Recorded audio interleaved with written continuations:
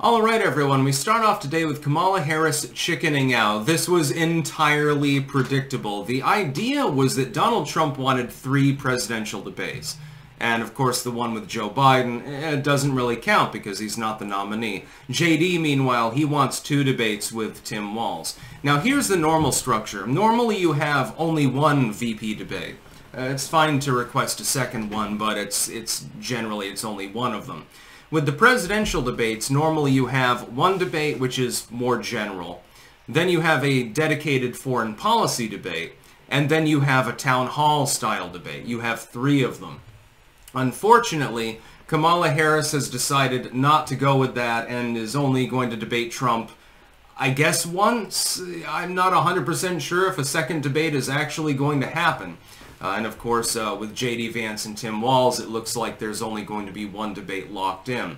Now, the hope is that Donald Trump decides to drag Kamala Harris. I mean, this is uh, posted, uh, repost from Truth Social. I think that Donald Trump should simply return to Twitter myself, but that's just my opinion. Um, saying, Comrade Kamala, you know, she's basically chickened out. Uh, I would like to debate her multiple times, and that's exactly what he needs to do you need to get Kamala Harris, number one, out before the public. The more she appears, the less palatable she is. Number two, to get her on record.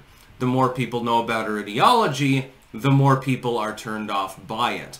Uh, that's that's what needs to be done, and that's what I think Trump and, and Vance are attempting to do. Same with Walz. It would be funny if uh, Vance brought up horse semen during the debate, although I suspect that will not actually be the case.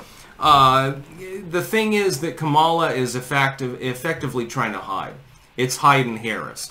The idea is simply to punt the Kasich effect down the lane and hide as much as possible like Biden did in 2020 so that you're sort of an unknown quantity versus a known quantity. Then we get the news today that RFK Jr. might be in talks effectively to drop out of the race and endorse Donald Trump. Again, the political chaos continues. Um, I, I, I'm a political analyst. I've been doing this for a long time. I'm telling you that I got no fucking clue what the fuck is going on half the time these last few weeks. It's become that sheer. Kamala will come out and make a statement. She'll be incoherent. Trump gets shot. Uh, Biden drops out uh, J.D. Vance will say something that's, you know, off-hinged. Tim Walz will, you know, pump up the crowd, and, and he's always off the rails. Uh, it's very, very difficult in the current political climate to guess actually what's going on sometimes. It's basically like, uh, imagine, two armies go to war.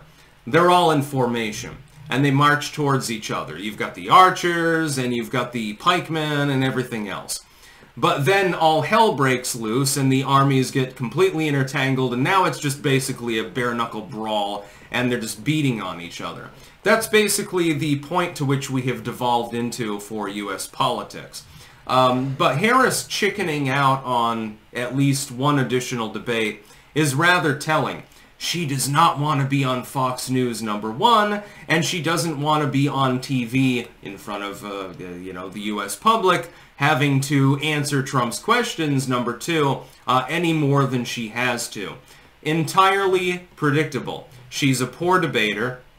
She's a poor communicator. Sometimes she says things and it's like, oh, what, you know, am I having a stroke, basically. Um, she, and, and her staff knows this.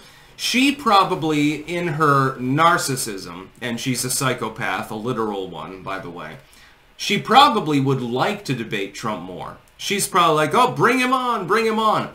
Her staff and her aides and stuff probably had to talk her down from that. That's why there was an extended period of time where it looked like this might have actually happened. But then in the end, of course, it didn't happen. Um, they had to prevail upon her probably to get her to drop the issue. Say, look, Miss Harris, um, I'm really, really sorry to inform you, but you, you've, you've got something else to do that day. They probably tried to distract her or something like that. You know, we've we've decided to uh, hold a rally that day instead of a debate. You know, it's a better idea. You know, you can get more votes and stuff like that. We're going to Pennsylvania. They probably tried to distract her or something like that. Wouldn't that be funny? Presidential candidate, their aides and their staffers are constantly, constantly trying to cajole them, constantly trying to say, I know you're great, you're great at debating, uh, don't worry, I, I don't question that. But uh, we've got something else, uh, you know, it's it's already scheduled. we scheduled it uh, uh, a few weeks ago. Uh, sorry about that. I have a feeling that that's actually happening. It's a little bit different from with Joe Biden. With Joe Biden, it's more like his handlers have to clean up his poop, quite literally. Um, with Kamala Harris, it's more like they have to prevent her from making political poop, if that makes any sense. It must be uh, interesting being on the campaign staff. By the way, they mandated that anyone that wanted to volunteer with the Kamala campaign, they had to be up to date on their jabby jabs. Mm. Also very telling as well. I wonder what the administration would do if it takes form. She's chickened out though. With regards to the debate, she fucking chickened out. She doesn't want to go before the public. Her staff don't want her to go before the public. They want to hide her as much as possible in hopes that the Kasich effect carries her to victory. In the end, I suspect they will be unsuccessful, but it's a novel idea. An absentee campaign. We have seen one that was successful before in 2020. Generally speaking, though, you, I mean, if you've got good ideas, you pitch them to the public, right? You tell the public, this is what I want to do, A, B, and C. Um, and and it, you pitch yourself. Uh, Kamala appears to be uninterested in doing so. I'm not particularly surprised, by the way. That's about all. Peace out.